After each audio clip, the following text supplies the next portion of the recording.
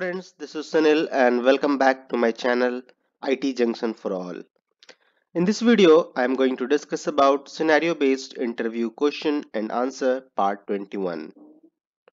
First, the input table. Balance table has two columns namely balance and dates. Now the problem statement. Write a SQL query to derive start date and end date column when there is continuous amount in balance column as shown below. Let's come back to the input table. If you see the first three row, we see that the balance is 26,000 and date is starting from 1st January 2020 and then 2nd January 2020 and 3rd January 2020. So for this balance 226,000 the start date will be 1st January 2020 and the end date will be 3rd January 2020. So this is what is uh, it is coming in the output table for balance 26,000 start date is 1st January 2020 and end date is 3rd January 2020. Similarly for the balance 30,000 start date will be 4th of January and end date will be 5 uh, 5th of January again this balance 26000 has came and uh, this time the start date will be 6000 uh, sorry uh, 6th of January and end date will be 7th of January. And in the eighth row the balance is 32000 and the start date will be 8th of, 8th of January and the end date will be the same because there is only one entry in the input table. And for 31000 again there will be one in there will be only one entry and start date and end date will be same that is 9th of January. Now let's see how we can do this in SQL Server. We can solve this problem by using lag function.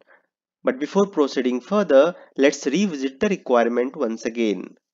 Let's run the balance table which is our input table.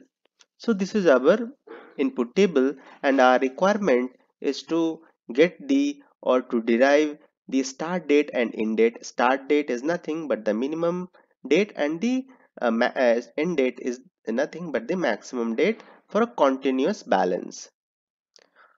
So you might be thinking that if I'm going to do a group by on the balance column and I will uh, and uh, if I'm going to take minimum of dates and maximum of date on that group uh, on that group balance it will it is going to solve our problem. But that will not solve our problem because 26000 is present again on the 6th and 7th row. If you are going to do group by on the balance column these two uh, these two rows that is uh, sixth row and seventh row will combine together with the uh, with the uh, first second third and fourth row. And out of that it is going to pick the minimum date and the maximum date. So we cannot go by that method. So in order to solve the problem first we have to get the sequence generated. If we get the sequence generated for the first three rows as 111 and the uh, for the row number 4522 and for uh, row number 6 and 7 3 3 and 8 uh, 4 and 9 5 then can, we can easily group by that sequence number and then we can apply minimum and maximum function on the dates field and we can get the start date and end date very easily so let's see how we can get the sequence number that is our first target so what I have done over here, I have used CTE table started with with clause and given a CTE table name as balance underscore CTE. After that, I am selecting balance and dates and then I am using function lag function wherein I am using case statement case when lag of balance over order by dates is equal to balance itself then I am populating as 0 else I am populating as 1 and I am giving this this case statement result name as temporary sequence.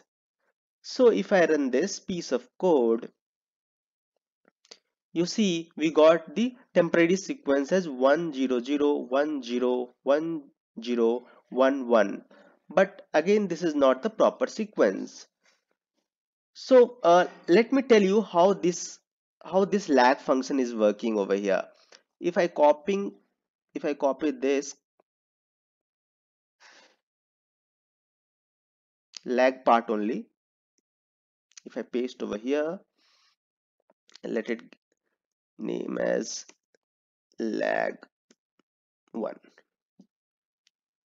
comma and if I run this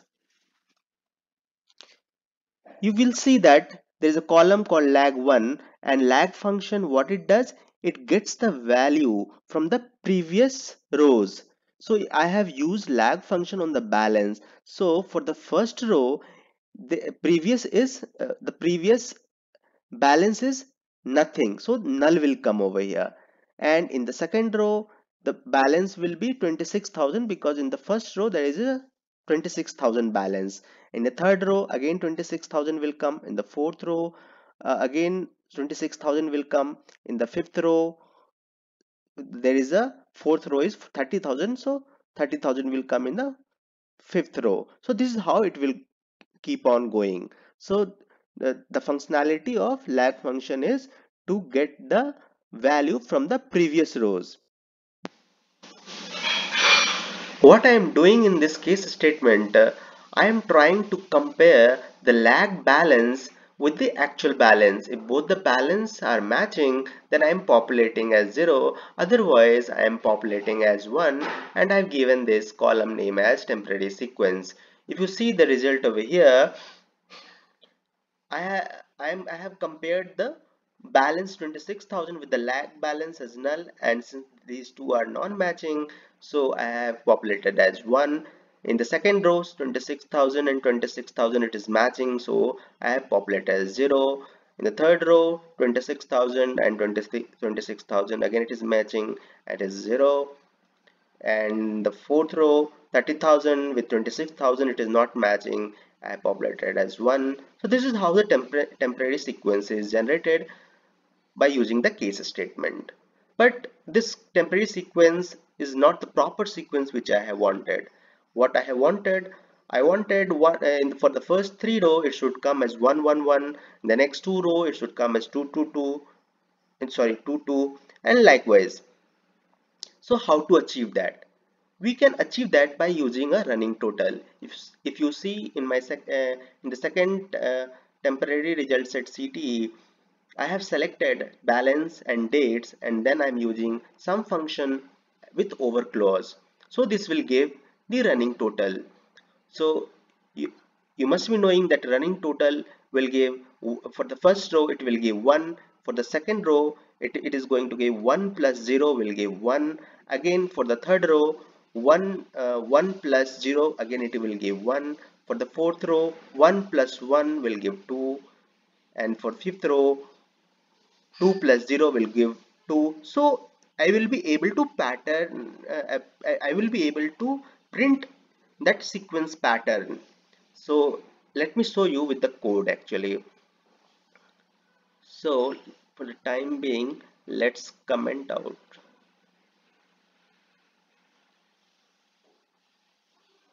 This also not required.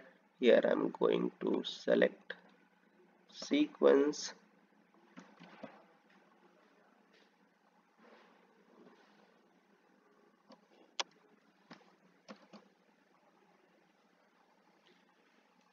select dates also. Let's run now. So see the sequence is generated. What I wanted that is that sequence is generated. So for the first three rows I am able to see the sequence 111 for the next two rows 2 2 for the 6th and 7th row 3 3 and 8th row 4 and 9th row 5 so how this got generated? This got generated because I have used sum function with over clause and this will give the running total.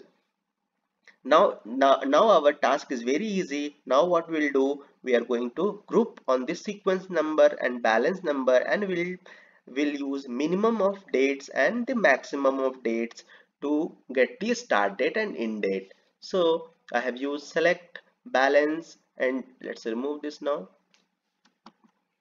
I've used our minimum function. Minimum of dates as the start date maximum of dates as end date and from the table sequence underscore CTE and finally I'm doing group by sequence and balance column and I'm ordering by sequence. Let's uncomment this also and if I run full piece of code here you go. You got the desired result.